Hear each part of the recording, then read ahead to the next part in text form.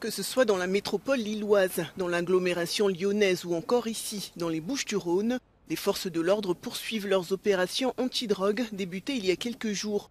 Ce lundi, le préfet des Bouches-du-Rhône a annoncé plus d'une centaine d'arrestations. Depuis le début de la semaine, c'est déjà euh, plus de 190 interpellations. Il faut voir que depuis le début de la semaine, on a saisi 25 kilos euh, de cannabis, on a saisi plus d'un kilo euh, de cocaïne et à chaque fois très nombreuses opérations, très nombreuses petites saisies sur de nombreuses personnes. Donc voilà, l'impact, est important et l'impact est sur l'ensemble euh, du département. Baptisées PlaceNet XXL, ces opérations simultanées avaient été annoncées par Emmanuel Macron la semaine dernière.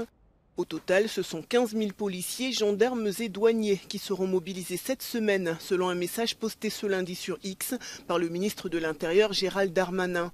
L'an dernier à Marseille, les violences liées au trafic de drogue avaient fait 49 morts et 123 blessés. Des chiffres qui avaient poussé les magistrats de la ville à tirer la sonnette d'alarme.